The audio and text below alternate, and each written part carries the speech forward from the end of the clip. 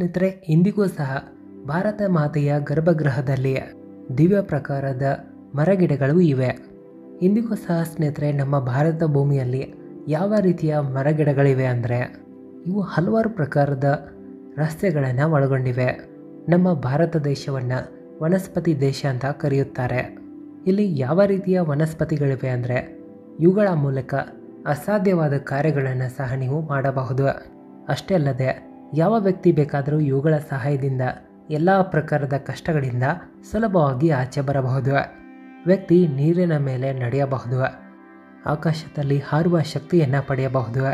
ವಾಯುಭವನ ಸಿದ್ಧಿಯಾಗಲಿ, ಅದೃಶ್ಯ ಕೂಡ ಆಗಬಹುದು.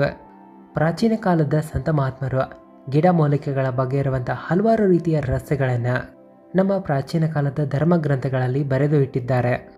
ಸ್ನೇಹಿತರೆ, ಇಂದು ನಾನು ನಿಮಗೆ ತುಂಬಾ ಸಿಂಪಲ್ ಆಗಿರುವ ಸಾಧಾರಣವಾದ ಸಸ್ಯಗಳ ಬಗ್ಗೆ ತಿಳಿಸ್ಕೊಡ್ತೀನಿ. ಇವು ತುಂಬಾ ಸುಲಭವಾಗಿ ನಮ್ಮೆಲ್ಲರ ಮನೆಯ ಹತ್ತಿರದಲ್ಲಿ ಸಿಗುತ್ತವೆ. ಸ್ನೇಹಿತರೆ, ಅದುವೇ ಉಮ್ಮತ್ತಿ ಗಿಡ ಆಗಿದೆ. ಹೌದು ಸ್ನೇಹಿತರೆ, ಕಪ್ಪು ಬಣ್ಣದ ಉಮ್ಮತ್ತಿ ಗಿಡದ ಹೂವಿನ ಲಾಭಗಳ ಬಗ್ಗೆ ಇಂದು ನಾನು ನಿಮಗೆ ತಿಳಿಸಲಿದ್ದೇನೆ. ಹಾಗಾಗಿ ವಿಡಿಯೋವನ್ನು ಪೂರ್ತಿಯಾಗಿ ನೋಡಿ. ಯಾಕಂದರೆ ಇಲ್ಲಿ ನಾವು ನಿಮಗೆ ಯಾವ ಲಾಭಗಳ ಬಗ್ಗೆ ತಿಳಿಸಲಿದ್ದೇವೋ, ಇಲ್ಲಿ ಕೆಲವು ಯಾವ ರೀತಿಯ ತಾಂತ್ರಿಕ ಪ್ರಯೋಗಗಳ ಬಗ್ಗೆ ತಿಳಿಸ್ಕೊಡ್ತೀವಂದರೆ ಇವು ಅಲೌಕಿಕ ಪ್ರಯೋಗಗಳಾಗಿವೆ. ಈ ಮಾಹಿತಿ ಇಂದು ಇಲ್ಲ ಅಂದರೂ ನಿಮಗೆ ಮುಂದೆ ಯಾವುದಾದ್ರೂ ಒಂದು ದಿನ ಖಂಡಿತವಾಗಿ ಸಹಾಯಕ್ಕೆ ಬರುತ್ತದೆ. ಕೆಲವೇ ದಿನಗಳಲ್ಲಿ ಸ್ನೇಹಿತರೆ, ಹೋಳಿ ಹುಣ್ಣಿಮೆಯ ಹಬ್ಬ ಕೂಡ ಬರಲಿದೆ. ನಾವು ಹಲವಾರು ವಿಡಿಯೋಗಳಲ್ಲಿ ನಿಮಗೆ ಈ ಒಂದು ವಿಷಯವನ್ನು ತಿಳಿಸಿದ್ದೇವೆ. ಒಂದು ವೇಳೆ ಯಾವುದಾದ್ರೂ ವ್ಯಕ್ತಿಗಳು ಹೋಳಿ ಹುಣ್ಣಿಮೆಯ ದಿನವೇ ಗಿಡಮೂಲಿಕೆಗಳನ್ನೇನಾದರೂ ತೆಗೆದುಕೊಂಡು ಬಂದರೆ, ಅಥವಾ ಯಾವುದಾದ್ರೂ ಮರಗಿಡಗಳಿಗೆ ನಿಮಂತ್ರಣವನ್ನು ಕೊಟ್ಟು ಅವುಗಳ ಬೇರನ್ನು ತಂದರೆ ಅವುಗಳಲ್ಲಿರುವಂಥ ದಿವ್ಯ ಗುಣವು ದುಪ್ಪಟ್ಟಾಗುತ್ತದೆ. ಅಂದರೆ ಅವು ತಮ್ಮ ಪೂರ್ಣ ರೂಪದಲ್ಲಿ ತಮ್ಮ ಪ್ರಭಾವವನ್ನು ನಿಮಗೆ ತೋರಿಸುತ್ತವೆ. ಇಲ್ಲಿ ಶನಿ, ರಾಹು, ಕೇತು, ಭೂತ ಪ್ರೇತಗಳಾಗಲಿ, ಇವೆಲ್ಲರ ಭಯವನ್ನು ನಿಮ್ಮಿಂದ ದೂರ ಮಾಡಲು ನೀವು ಇಷ್ಟಪಡ್ತಾ ಇದ್ದರೆ ನಕಾರಾತ್ಮಕ ಶಕ್ತಿಗಳಿಂದ ನೀವು ಯಾವತ್ತಿಗೂ ಚಿಂತೆಗೀಡಾಗಿದ್ದರೆ ಇಲ್ಲಿ ಗಮನವಿಟ್ಟು ಕೇಳಿರಿ.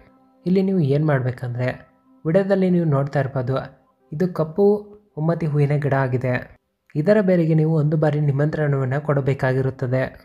ಇದನ್ನು ಯಾವುದಾದ್ರೂ ಒಂದು ದಿನ ಅಥವಾ ಸಾಧ್ಯವಾದರೆ ಹೋಳಿ ಹುಣ್ಣಿಮೆಯ ಒಂದು ದಿನ ಮೊದಲು ಇದಕ್ಕೆ ನಿಮಂತ್ರಣವನ್ನು ಕೊಡಬೇಕು.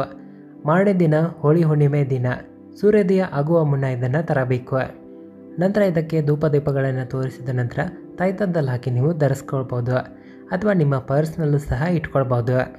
ಇದು ರಾಹು, ಕೇತು, ಭೂತ ಪ್ರೇತಗಳಾಗಲಿ ವೇಳೆ ಯಾವುದಾದ್ರೂ ಪ್ರಕಾರದ ನೆಗೆಟಿವ್ ವಿಷಯಗಳು ನಿಮಗೆ ತೊಂದರೆ ಕೊಡ್ತಾ ಇದ್ದರೆ ಎಲ್ಲ ರೀತಿಯ ಸಮಸ್ಯೆಗಳನ್ನು ಇದು ನಿಮ್ಮಿಂದ ದೂರ ಮಾಡುತ್ತದೆ. ಯಾವತ್ತಿಗೂ ನಿಮಗೆ ಇದು ಸುರಕ್ಷತೆಯನ್ನು ನೀಡುತ್ತದೆ. ಎಲ್ಲಿಯ ತನಕ ಇದು ನಿಮ್ಮ ಕೊರಳಲ್ಲಿರುತ್ತದೆಯೋ, ಅಲ್ಲಿಯ ತನಕ ಯಾವುದೇ ಪ್ರಕಾರದ ತಾಂತ್ರಿಕ ಸಮಸ್ಯೆಗಳು ನಿಮ್ಮನ್ನು ಕಾಡಿಸೋದಿಲ್ಲ. ಯಾರೇ ಆಗಲಿ ಮಾಟ ಮಂತ್ರಗಳನ್ನು ಮಾಡಿದ್ರೂ ನಿಮಗೆ ಅವು ಅಂಟಿಕೊಳ್ಳೋದಿಲ್ಲ. ಯಾಕಂದರೆ ತುಂಬ ಬೇಗನೆ ಹೋಳಿ ಹುಣ್ಣಿಮೆಯ ಹಬ್ಬ ಬರಲಿದೆ. ಈ ಒಂದು ಕಾರಣದಿಂದ ಈ ಮಾಹಿತಿ ನಿಮ್ಮೆಲ್ಲರಿಗೂ ಗೊತ್ತಾಗಲಿ ಅಂತ ಈ ವಿಡಿಯೋವನ್ನು ಮಾಡ್ತಾ ಇದ್ದೀವಿ. ಇದರ ಬೇರನ್ನು ಪುಡಿ ಮಾಡಿ ಯಾರು ವಿಷವನ್ನು ಕುಡಿದಿರ್ತಾರೋ, ಅಂದರೆ ಇದು ಆಯುರ್ವೇದದಲ್ಲಿ ಬರುತ್ತದೆ. ಅವರಿಗೇನಾದರೂ ಸ್ವಲ್ಪ ಸ್ವಲ್ಪ ಪ್ರಮಾಣದಲ್ಲಿ ವಿಷ ಕುಡಿದವರಿಗೆ ಇದನ್ನು ಕುಡಿಸಿದ್ರೆ ಇದು ವಿಷವನ್ನು ಕಡಿಮೆ ಮಾಡುವ ಕೆಲಸವನ್ನು ಮಾಡುತ್ತದೆ. ಯಾಕಂದರೆ ವಿಷಕ್ಕೆ ಪರಿಹಾರ ವಿಷವೇ ಆಗಿದೆ. ಆದರೆ ಈ ಪ್ರಯೋಗವನ್ನು ನೀವು ಯಾವಾಗ ಮಾಡಬೇಕಂದ್ರೆ, ಯಾರಲ್ಲಿ ಒಳ್ಳೆಯ ಆಯುರ್ವೇದದ ಜ್ಞಾನ ತುಂಬಿರುತ್ತದೆಯೋ ಅಂಥವರ ಸಲಹೆಯನ್ನು ಪಡೆದುಕೊಂಡು ಈ ಪ್ರಯೋಗವನ್ನು ನೀವು ಮಾಡಬೇಕು. ಇದರ ಅಂತಿಮ ಕೊನೆಯ ಪ್ರಯೋಗವನ್ನು ತಿಳಿಸ್ತೀವಿ ಕೇಳಿ. ಹಲವಾರು ಜನರು ನಮಗೆ ವಶೀಕರಣದ ಸಿದ್ಧಿಯ ಬಗ್ಗೆ ತಿಳಿಸ್ಕೊಡಿ ಅಂತ ಕೇಳ್ತಾ ಇರ್ತಾರೆ.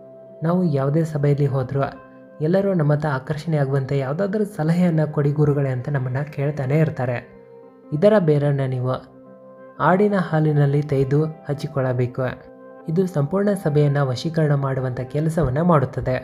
ಎಲ್ಲಿ ಹೋಗ್ತೀರೋ ಅಲ್ಲಿ ನಿಮಗೆ ಗೌರವ, ಪ್ರತಿಷ್ಠೆ ಸಿಗಲು ಶುರುವಾಗುತ್ತೆ. ಎಲ್ಲರೂ ನಿಮ್ಮ ಮಾತುಗಳನ್ನು ಕೇಳ್ತಾರೆ. ವಶೀಕರಣದ ಅರ್ಥ ಈ ರೀತಿ ಏನಲ್ಲ.